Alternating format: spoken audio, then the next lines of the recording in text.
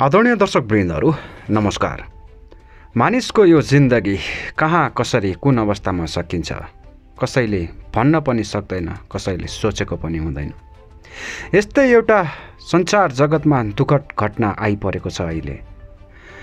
दुई दिनदेखि परिवार र कार्यालयसँग सम्पर्कविहीन भएका कान्तिपुर दैनिकका सहायक सम्पादक बलराम बानियाको दुःखद निधन भएको छ। महानगरी अपराध महाशाखाका एएसएसपी दीपक थापाको अनुसार बानियाको मृत शरीर मङ्गलबार बिहान एघार बजेतिर मकवानपुरको सिस्नेरी स्थित मान्डु जलविद्युत परियोजना क्षेत्रमा फेला परेको हो। हाल उनको सब हेटौँडा अस्पतालमा राखिएको छ। बानिया सोमबार दिउँसोदेखि सम्पर्कविहीन भएका थिए। उनी पछिल्लो पटक राजधानीको बल्कु चोकमा सोमबार करिब पौने चार बजे देखा परेको प्रहरीले जानकारी दिएको छ। बल्खुमा प्रहरीको गस्ती टोलीले सोमबार दिउँसो देखेपछि उनलाई सोधपुछ गरेको थियो। त्यसपछि उनी घर जाने भन्दै बल्खु खोलाको पुलमुनि गएको देखिएको प्रहरीले जनाएको छ। एसएसपी थापाको अनुसार बानिया पुलमुनि जाँदै गर्दा उनको जुत्ता हिलोमा अड्किएको र त्यसपछि खोलाको पानीमा लडेपछि स्थानीयले उद्धार गर्ने प्रयास गरेका थिए। तर पानीको अत्याधिक बहावले गर्दा उद्धार गर्न नसकेको स्थानीयले बताएका छन्। त्यसबेला उनको पहिचान भने खुल्न सकेको थिएन। मृतक बानिया एक दशकभन्दा अघिदेखि कान्तिपुरमा कार्यरत थिए।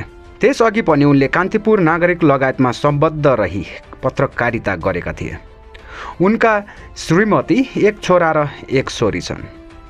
आदरणीय दर्शक वृन्दहरू मृतक बानिया को हुन् त भनेर प्राय तपाईँहरू कतिपयले चिन्नुहुन्न होला।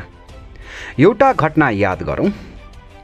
आजभन्दा करिब तिन वर्ष अगाडि कान्तिपुर दैनिकमा एउटा लेख छापिएको थियो एलइडी बल्ब खरिद प्रकरण।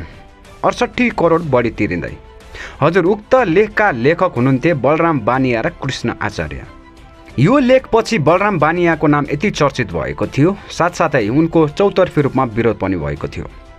उनको यो लेखप्रति घोर आपत्ति जनाउँदै विभिन्न नेपाली जनताहरूले यसको खुलेर विरोध गरेका थिए। तत्पश्चात विद्युत प्राधिकरणका नवनियुक्त कुलमान घिसिङज्यूले यो कुरालाई प्रष्ट पार्न पत्रकार सम्मेलन नै गर्नु परेको थियो।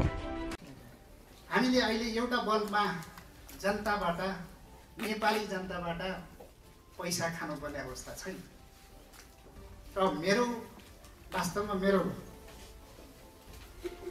मेरो अवस्था हो भने मैले चिलिमीदेखि सिकेको त्यो कुनै पनि नेपाली जनताबाट तर के हो भने मैले पैसै खानु परेको भए आज यो लिडबाट नेपाली जनताको पैसा खानुपर्ने थिएन म चुप्पो लाएर बसेको हुन्छु मात्रै दुई चार घन्टा लोड सेड गरेको मात्रै पनि करोडौँ रुपियाँ मैले कमाएर बस्ने हो यो कुरा यत्तिकैमा सेलाएको थिएन। तत्पश्चात रवि लामिछानेले समेत सिधा कुरा जनतासँग मार्फत मृतक बानियासँग अन्तर्वार्ता लिँदै यो विवादको बारेमा स्पष्टीकरण गर्नुभएको थियो। हजुर बलरामजी नमस्कार स्वागत छ तपाईँलाई कार्यक्रममा। नमस्कार हजुर बलरामजी अब विशेष गरेर तपाईँको निकै धेरै चर्चा भयो यो एलइडी बल्ब प्रकरणमा।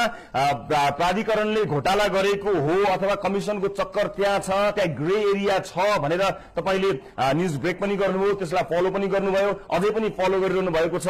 तर यस विषयमा हाम्रा धेरै दर्शकहरूले तपाईँलाई प्रश्न सोध्नु भनेका छन् र तपाईँको पनि धेरै आलोचना भएको छ। अहिलेसम्म आइपुग्दा तपाईँले पनि धेरै आलोचनाहरू सुन्नु भएको छ होला र आफ्नो रिपोर्टिङको यो तयारी पनि अझ तीव्र बनाउनु भएको छ होला। तपाईँको भनाइ के छ अहिलेसम्मको स्थितिमा? पहिले एलइडी खरिदको कुरा जुन सार्वजनिक खरिद ऐनमा कुनै पनि सरकारी निकायले अथवा सार्वजनिक निकायले जसरी खरिद गर्ने भनेको छ हजुर। विधि सम्बन्धी ढङ्गले खुल्ला प्रतिस्पर्धाबाट गर्नुपर्छ भन्ने कानुनले स्पष्ट भनेको छ। खैर आखिर जे जस्तो भए पनि एक दिन जो कसैले यो संसार छाडेर जानु पर्ने नै छ। उहाँको यो अकल्पनीय दुःखद निधनले सम्पूर्ण सञ्चार जगत स्तब्ध भएका छन्। उहाँको मृत आत्माले चिर शान्ति पाओस्। मृतक बलराम बानियाप्रति हार्दिक श्रद्धाञ्जली।